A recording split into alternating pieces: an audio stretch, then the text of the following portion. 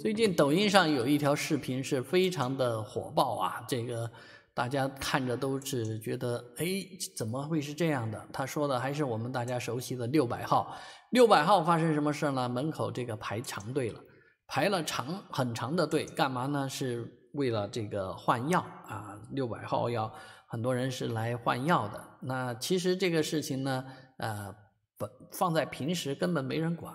只是因为这个疫情期间，大家对这个精神焦虑啊比较关注啊，但事实上这个事情真的没那么严重，很多人都都说哇不少人不少人啊，但是人家医院熟悉情况说，我们平时也这样啊，平时就有九百多人来这个换药啊领药，那那一天是个星期一早上呢，有一千二百人啊，但是医院还是保证了这些人都能够领到药。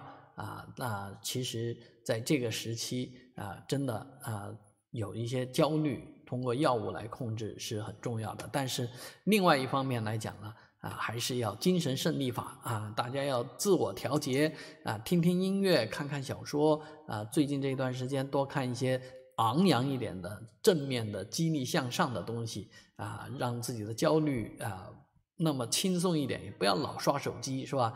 啊，所以上海精神病卫生中心、精神卫星中心六百号皖南宛平南路六百号的专家们邀请大家，这个疫情过后，哦，咱们到这个徐汇滨江走一走，啊，看着黄浦江发发呆，也是蛮好的一件事情。